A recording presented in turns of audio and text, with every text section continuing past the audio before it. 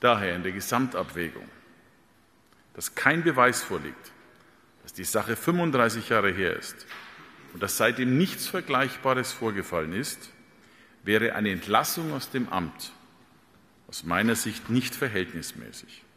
Damit zieht Bayerns Ministerpräsident Markus Söder für sich einen vorläufigen Schlussstrich unter die Flugblattaffäre um Stellvertreter Hubert Aiwanger.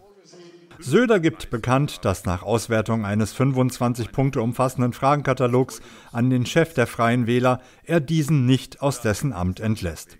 Im persönlichen Gespräch habe Söder gemerkt, wie sehr ihn die Sache belaste. Und ein langes persönliches Gespräch gestern Abend sind jetzt die Basis für die Abwägung und Entscheidung. Vorab muss man sagen, leider war sein Krisenmanagement der letzten Woche nicht sehr glücklich. Er hätte angesichts des Vorwurfs des Antisemitismus früher, entschlossener, umfassender aufklären müssen.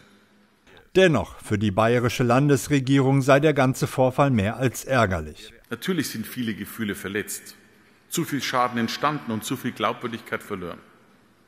Daher mein ernst und gut gemeinter Rat. Auch wenn all die Sachen lang her sind, ist es wichtig, die Reue und die Demut zu zeigen.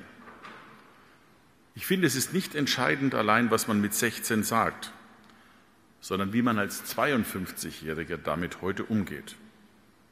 Und wer ernsthaft bereut, der kann auch leichter auf Verzeihung hoffen.